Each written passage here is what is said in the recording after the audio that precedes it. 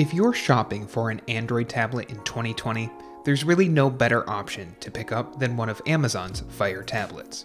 With devices starting as low as just $50, Amazon's tablets are great for browsing the web, watching Netflix or Disney Plus, or for just playing games around the house.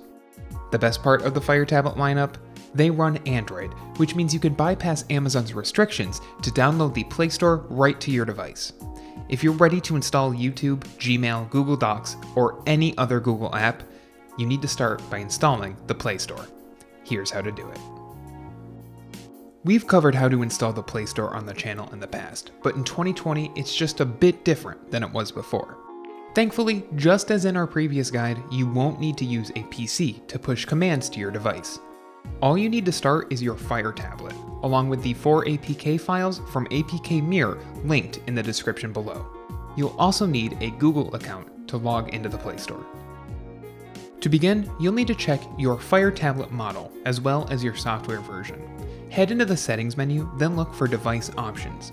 At the bottom of this menu, look for your device model and generation. Make a note of this, it's going to be important later. After this, tap System Updates and make sure you've updated your tablet to its newest software version. After updating Fire OS, dive back into Settings, select Privacy and Security under the Personal category, and toggle Apps from Unknown Sources on. Hit OK on the confirmation prompt, then exit back to the home screen. This allows us to install those APK files from APK Mirror to our device. The next step is a big one. Four APK files are needed to be installed on your device for the Play Store to work properly, and it's important to choose the four files that are correct for your device. These can be downloaded and installed right from the browser on your Fire tablet. It's important to install them in the correct order, so make sure to follow these steps closely. To start, download the Google Account Manager. Fire OS devices run on a modified version of Android, though the version of Android actually depends on your generation of Fire tablet. That's why it's important to know which tablet you're using. If your tablet is running Fire OS 5, make sure you use the linked version meant for Fire OS 5 devices. The same goes for tablets running Fire OS 6 or Fire OS 7. Make sure you use the version linked below that corresponds to your tablet's operating system. Download the APK from APK Mirror, but don't install it just yet. Instead, leave the notification inside your notification tray for the time being. Next up is the Google Services Framework. Just as before, load the version listed below, then download the APK to your device and leave the notification in your tray. The third APK is for Google Play Services, and unfortunately, this one's a bit complicated. For anyone using a Fire HD 8 or Fire HD 10 from 2016 or later, install the 64-bit version listed below. If you're using a Fire 7 tablet from 2019 or later, also install the 64-bit version. If you aren't sure how old your Fire 7 is, check your system settings. If you're running Fire OS 5, use the 32-bit version. For anyone running Fire OS 6, use the 64-bit version. Finally, download the newest version of the Google Play Store APK. The newest version as of recording is linked below, but you may need to select a newer version depending on when you're watching this video, since the app receives updates often.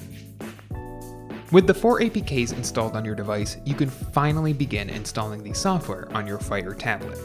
The order in which you install these onto your device is very important, so make sure to install the apps in the right order. Begin with installing Google Account Manager, which should be at the bottom of your notification tray hit Next on the installation screen, then hit Install. If you run into any issues in these steps, you may have downloaded the wrong version for your tablet. Repeat this process for the three remaining apps in the order you downloaded them Google Services Framework, followed by Google Play Services, and finally, Google Play Store. Make sure not to open these apps when they finish installing. Just hit Done and move on to the next app. Both Play Services and Play Store take some time to install on your device, so don't try to cancel the installation or turn off your tablet if it seems to be taking a while. When all said and done, the entire installation process shouldn't take longer than about 5 minutes total. With the four apps installed on your device, it's time to reboot your tablet. When your tablet has booted back to the lock screen, we're ready to set up Google Play. Head to your list of apps and select the Google Play Store. Google will ask for your account information and whether you want to back up your app data to Google Drive. Once you've set up your information, you'll be able to access the Google Play Store and can install any Google only application you want. If you like this guide, make sure you subscribe for all sorts of videos covering Fire devices and other technology. And don't forget to check out one of these videos we think you might enjoy.